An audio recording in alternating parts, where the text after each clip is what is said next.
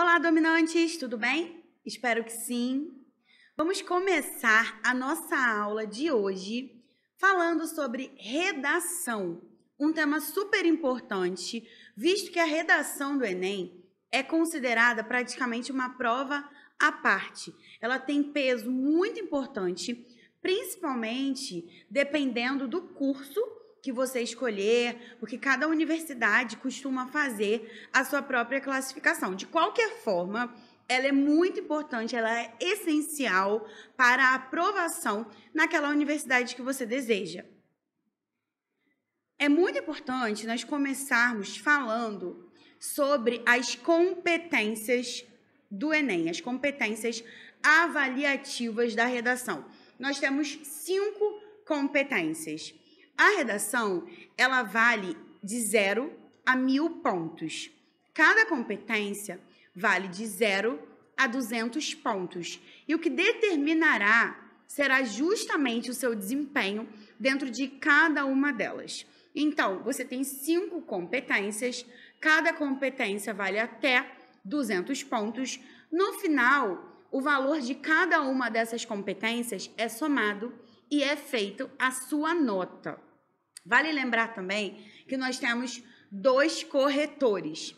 Se houver uma diferença de mais de 100 pontos entre os dois corretores, um terceiro corretor que não sabe de nada entra na situação, corrige aquela, aquela redação e é como se ele desempatasse. Então é muito importante que vocês saibam que a redação do Enem não cabe recurso justamente por isso, porque já há dois corretores que fazem ali a média e, além disso, um terceiro corretor e toda uma banca especializada que entra é, para análise daquele caso, caso haja necessidade de um desempate ou de tirar dúvidas se aquela redação deve ou não ser anulada, ok? Então vamos lá, vamos falar um pouquinho sobre essas cinco competências. A primeira competência é o domínio da escrita formal da língua portuguesa. Vale também falar que, como eu já disse para vocês, é de 0 a 200 pontos. E cada vez que você cai de um nível para o outro, você perde 40 pontos. Então, é como se você começasse com 200 reais. E cada vez que você fizesse algo ou falasse algo que não devia ser feito ou falado, você perdesse 40 reais. E aí, dependendo, né, do seu desempenho em dada situação, você ficaria aí com crédito de 40, 80, 120, 200, né? Ou perderia tudo. Da mesma forma, funciona a correção do Enem. Você começa com até mil pontos e a cada desvio cometido dentro de cada uma dessas cinco competências, você perde de 40 em 40 pontos. Mas eu tenho certeza que vocês terão um ótimo desempenho. Vamos lá. Primeira competência, então, que é o domínio da escrita formal da língua portuguesa, diz respeito à parte de ortografia, gramática. É avaliado se a redação do participante está adequada às regras de ortografia, como acentuação, ortografia em si, uso de hífen, emprego de letras maiúsculas e minúsculas e separação silábica. Algumas coisas muito importantes aí sobre essa primeira parte. Se você escreve uh, de letra de forma, de letra caixa alta, né, como algumas pessoas chamam, não tem problema. Isso é um mito. No Enem, não há problema se você não escrever com a sua letra cursiva, né, com a famosa letrinha de mão. Em outros concursos, como por exemplo, concursos militares, costuma sim haver uma obrigatoriedade. Porém, no Enem não há essa regra. Você pode escrever com a sua letra tanto cursiva, que é a letrinha de mão, quanto escrever com a, com a caixa alta, que é a letra de máquina. Porém, o que nós falamos aqui sobre a questão das maiúsculas e minúsculas deve ser observado. Se você começou uma palavra com um estilo de letra, é muito interessante que você siga esse mesmo estilo até o final. Há muitos alunos que erram ao escrever palavras com letras maiúsculas totalmente fora de contexto, porque é apenas a forma do aluno escrever. Se você cometer esse tipo de erro no Enem, você perde ponto, porque é descontado como ortografia, ok? Então, cuidado no uso de maiúsculas e minúsculas. Eventos históricos devem ser mencionados com letra maiúscula. Órgãos governamentais, agentes. Certinho? Fica a dica. Continuando. Ainda na competência 1, são analisadas a regência verbal, a regência nominal, a concordância verbal, a concordância nominal, pontuação, uso de vírgula, evitem períodos muito longos. Às vezes a pessoa escreve o blocão, coloca uma frase gigante, um parágrafo apenas contendo uma frase. Gente, se vocês cometerem esse tipo de erro, vocês vão sim ser descontados, porque os mecanismos sintáticos eles são avaliados aí também, ok? Além disso, o paralelismo é visto se a sua palavra ela está bem colocada, se há alguma repetição que é desnecessária, o emprego de pronomes e também a crase. Para ficar mais claro, aqui tem o esquema desses descontos. São seis níveis de desempenho dentro de cada competência, como eu já falei. E o da parte gramatical, que é a competência 1, como eu falei, você começa com 200 pontos. Então, você começa com o seu saldo aí positivo. E cada desvio, a cada desvio que você vai cometendo, ou algo que você vai deixando de fazer, você vai perdendo 40 pontos. Nossa, errei uma vírgula, perdi 40 pontos? Não. Errei um acento, perdi 40 pontos? Não, não é assim, tá? Eu vou explicar. Se você cometeu aí um desvio gramatical, você errou uma palavra e errou uma vírgula você não perde ponto. Se você errou duas palavras, você não perde ponto. Se você errou duas vírgulas, não perde ponto. Uma vírgula e um ponto, não perde ponto. Agora, no seu terceiro desvio gramatical, você começa a ser descontado. Não é assim, cada desvio 40 pontos, né, gente? Senão ninguém ia conseguir tirar mil, ninguém ia conseguir tirar mais de 900, né? Se você cometeu três desvios gramaticais, você perde 40. E dependendo da quantidade de desvios que você continuará cometendo ou não, você vai sendo descontado de 40 em 40 pontos. Por quê? Há coisas que os corretores entendem que são vícios seus, como, por exemplo, uso excessivo de vírgula. Se você escreve uma mesma palavra errada várias vezes, ele entende que você realmente não sabe. Então, você não vai ser descontado a cada vez que você escrever aquela palavra incorretamente, tá? Então, são várias nuances aí que são analisadas. Então, você começa, né, como eu falei, com 200 pontos. Nossa, um domínio excelente da língua. Os desvios gramaticais, eles são aceitos como excepcionais, né? Aí a gente tem que ver aquilo que eu falei com vocês, o caso de não caracterizar em reincidência, tá? Então, aí, 200 pontos. Ah, não escrevi tão bem assim, errei uma coisinha ou outra. Perdeu 40 pontos. Na sua primeira competência, você terá 160 pontos demonstra bom domínio da modalidade, poucos desvios gramaticais. Então, quando a gente tem 160 pontos, são poucos desvios. Quem tira 120 pontos? É quem demonstra o domínio mediano da modalidade escrita formal, já tem uns desvios a mais. Quem tira 80? Quem tem domínio insuficiente, aquela pessoa que já escreve com um pouco mais de dificuldade, tem problemas, né, em utilizar a norma padrão, 40 pontos quem tira é a pessoa que tem um domínio precário da modalidade escrita formal da língua, tem vários desvios gramaticais, escolha de vocábulos que são incorretos para aquele contexto. E quando a pessoa chega a tirar zero na competência, é porque realmente era uma situação muito complicada. É um texto praticamente ilegível, né? Demonstra desconhecimento total, praticamente, da modalidade escrita formal ok? Então, a primeira competência diz respeito aí, como nós acabamos de falar, sobre a parte de ortografia e gramática. A segunda competência é compreender o tema e não fugir do que é proposto. Avalie as habilidades integradas de leitura e de escrita do candidato. É você olhar o seu tema, você identificar que esse tema foi corretamente é, entendido por você e que você vai desenvolvê-lo de acordo com o que está sendo solicitado. O tema ele constitui o núcleo das ideias sobre as quais a redação deve ser organizada e é caracterizado por ser uma delimitação de um assunto mais abrangente. Então a gente costuma dizer que tem um recorte. Vou dar um exemplo. Se eu tenho um tema que é a persistência da violência contra a mulher, E aí, nesse tema de a persistência da violência contra a mulher, eu falo apenas sobre a violência contra a mulher, eu tangenciei esse tema. Eu não falei completamente sobre o tema, então eu vou perder ponto. Se eu falo só sobre mulher, é desvio gramatical, desvio gramatical não, gente, é desvio do tema. Aí é mais grave, porque eu posso fazer o quê? Zerar a minha redação. Eu não entendi aquele tema, era a persistência da violência contra a mulher. Quando você fala parcialmente, você tangencia. Quando você nem toca no assunto, você fala sobre a mulher, que já, ó, foi completamente contrário ao tema que está ali, nós dizemos que você se desviou e a sua redação ela é anulada.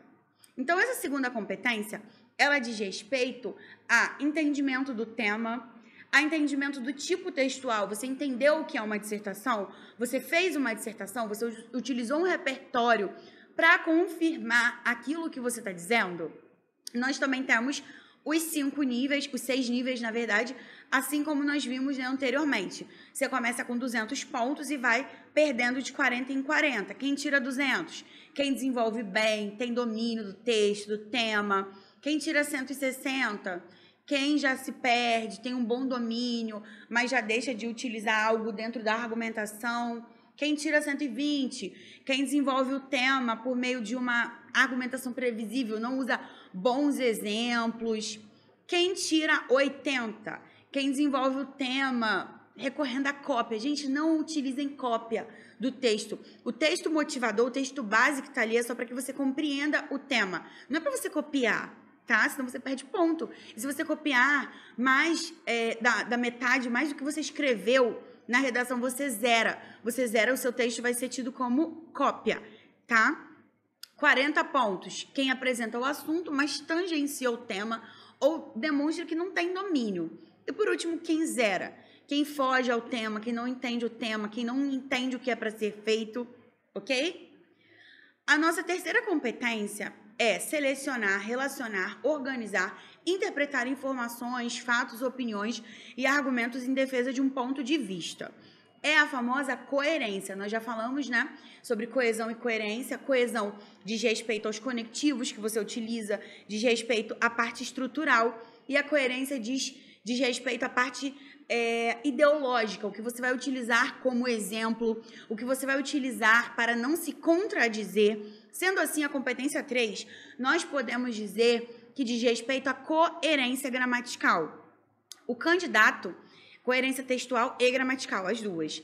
O candidato ele precisa elaborar um texto que apresente claramente uma ideia a ser defendida e usar argumentos que justifiquem a posição assumida em relação a essa temática proposta. Então, você precisa argumentar, você precisa reunir informações que sejam interessantes e que aí tenha um bom repertório e que esse repertório, esses exemplos que você utilize, eles tenham a ver com o seu texto. É muito importante que essa coerência, né, ela seja tomada aí no, no seu texto. Além disso, também nós precisamos ter, olha essa palavra aqui, é muito importante planejamento a escrita, ou seja, nós precisamos elaborar um projeto de texto. Não é só você escrever e sair correndo, você precisa explicar por que você está colocando aquilo, ok? E aqui nós também temos os seis níveis da competência. Quem tira 200 pontos é quem faz uma boa defesa do ponto de vista, usa exemplos, usa um bom repertório legitimado, um repertório que seja é, pertinente ao tema, que tem a ver com o tema. Quem tira 160, quem apresenta as informações, os fatos, né? Mas falta alguma coisa ou outra. Quem tira 120 pontos é quem tem aí as informações, os fatos, as opiniões, mas não está muito bem organizada essa sua argumentação. Quem tirou 80 apresenta informações, mas as informações elas estão desorganizadas e o ponto de vista não está sendo bem defendido. 40 pontos, nós temos as informações, mas não há relacionamento com o tema, o ponto de vista ele não está expresso. E zero, né, gente? É quem apresenta informações, fatos e opiniões que não fazem a mínima relação com o tema. A nossa quarta competência é a competência que diz respeito à coesão. Nós falamos sobre coerência, agora a gente vai falar sobre a coesão. As duas sempre andam juntas aí. conhecimento dos mecanismos linguísticos necessários para a construção da argumentação. Então, para que o meu texto ele fique bem argumentado, eu preciso usar palavras que façam aí a ligação entre essas ideias. São avaliados itens relacionados à estruturação lógica e formal entre as partes da redação. A organização textual exige que as frases e os parágrafos estabeleçam entre si uma relação que garanta uma sequência coerente do texto e a interdependência entre as ideias. É muito importante frisar que na redação do Enem nós precisamos utilizar conectivos, nós precisamos usar palavras que conectem esses parágrafos e que conectem também todas as orações do texto, porque senão você perde ponto. Então, gente, o Enem ele tem esse tipo de texto, né? Ele praticamente criou um tipo de texto, porque ele exige conectivo onde as dissertações usuais não costumam utilizar, ok? Vamos lá. O que são conectivos? Preposições, conjunções, advérbios, locuções adverbiais. Eles fazem essa coesão do texto porque eles estabelecem uma interrelação entre essas orações e esses parágrafos. Nós temos também os níveis de competência. Quem tira 200 pontos é quem articula as partes do texto muito bem apresenta repertório. Quem tira 160 articula as partes do texto com poucos desvios, apresenta um bom repertório, um repertório diversificado. Quem tira 120 articula mais ou menos, né, de forma mediana e esquece um conectivo, repete um conectivo, usa um conectivo de forma incorreta. 80 pontos é quem articula as partes do texto de forma insuficiente. Tem várias inadequações, não utiliza recursos coesivos. Quem tira 40 articula as partes do texto de forma precária. Tá faltando muita coisa, faltando mais do que ali apresentando. Quem tira zero é quem simplesmente deixa o texto solto e não articula as informações. Nossa última competência, gente, é a conclusão. A gente tem aí a análise dos cinco tópicos que são necessários para o fechamento do nosso texto e também o respeito aos direitos humanos apresentar uma proposta de intervenção para o problema abordado que respeite os direitos humanos. Isso aqui é muito importante. Propor uma intervenção para o problema apresentado e a gente precisa conseguir pensar numa solução. Óbvio que não é uma solução do Enem que vai resolver aquele seu problema, né, gente? Porém, você precisa pensar numa resposta para a problemática que seja prática, dizendo quem vai fazer, qual é o órgão, o ministério, quem, qual é a instituição que vai fazer, o que vai ser feito, que é a proposta em si, como vai ser feito, por que vai ser feito e um detalhamento, que é o para que vai ser feito. Cada vez que você deixa de usar um desses itens, você perde 40 pontos.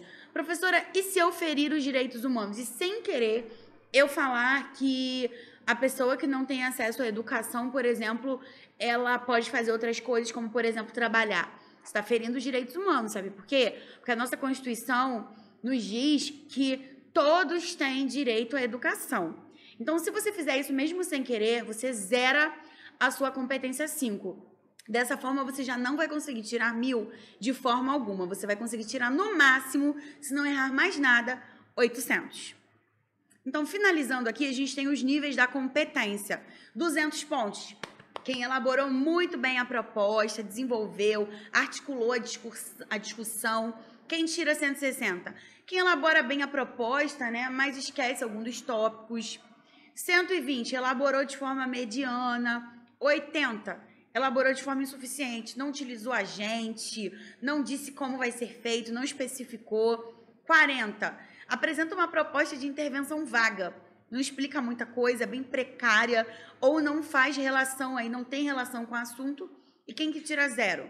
Quem não apresenta proposta de intervenção, né? Ou apresenta uma proposta não relacionada ao tema, ou ainda fere os direitos humanos.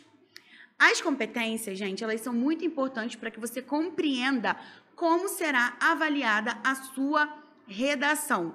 Dessa forma, sabendo disso, você já sabe no que você precisa se policiar e no que você precisa também treinar para tirar aquele tão esperado mil na sua redação. Espero que essa aula tenha sido de grande valia a todos vocês. Um forte abraço e até a próxima.